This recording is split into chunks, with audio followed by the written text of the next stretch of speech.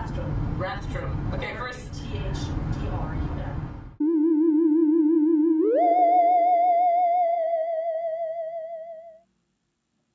My mother first told me of Rathdrum about a year ago.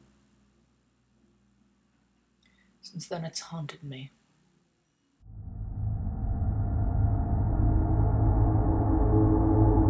I'll let her words speak for themselves.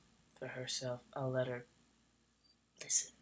There's a town called Rathdrum, Idaho, and apparently it's famous for its satanic worship or just weird stuff going on. You know, human chains across the highway, stopping cars. You know, I don't, I don't know where these people if they if they go away or if they just maybe don't. You know, I don't know. Somebody sees it but they don't report it. I don't know. How could she know? How could any of us? But apparently there's a church in town, and there was blood thrown on the on the doors. And some people say it said something. I'm not sure what it said. But apparently, animal sacrifice, weird things happening when people are driving by, seeing things just out of the corner of their eye, like darting away from the road, uh, strange lights, like like a fire off in the distance. So I just I just have heard that there's satanic worship in Rathdrum.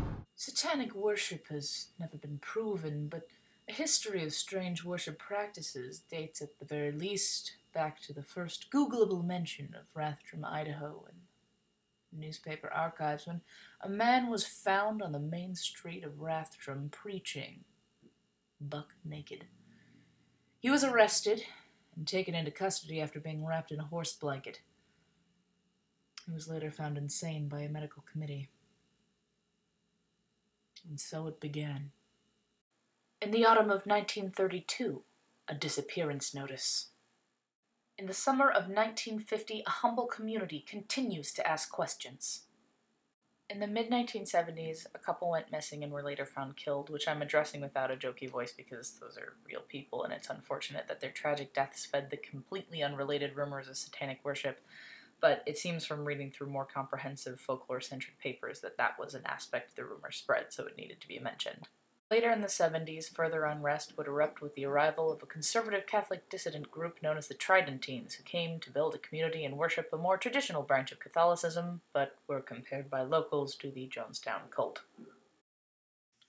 March 18, 1979 would bring an article from the Spokane Daily Chronicle detailing the findings of two hikers who discovered crosses and mutilated animals after hearing chanting voices in the distance. The exact location was never revealed, only that it was north of Spokane. Easily commutable for any self respecting Satanist with a set of wheels. Coincidence? This period, from about 1974 to 1979, marks the heyday of the satanic rumors, as all further articles seem to merely be dissecting the folklore and how it began. The legend may be fading, but the question remains what the hell? Was it real? Is anything real? Am I? And further, is it over?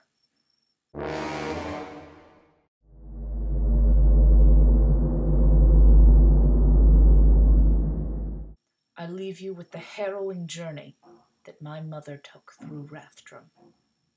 When I was in college, we drove through and we saw a church and we all freaked out because we thought it was the church. And uh, I, I don't remember, I think we saw somebody scary. and he just looked at us and didn't speak, which seemed really weird, but probably totally normal.